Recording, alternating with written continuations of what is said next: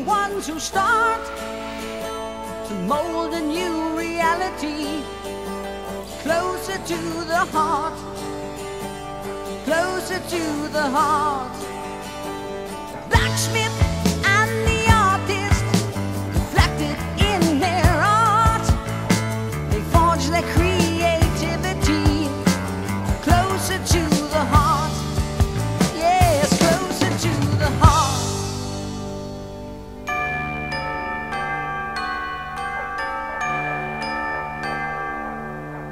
Philosophers and plowmen each must know